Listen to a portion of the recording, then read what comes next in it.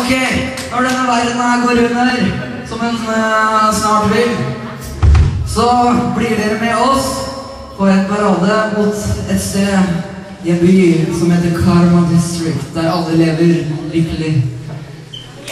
For å komme hit så må vi dra på A freakshow-masquerade!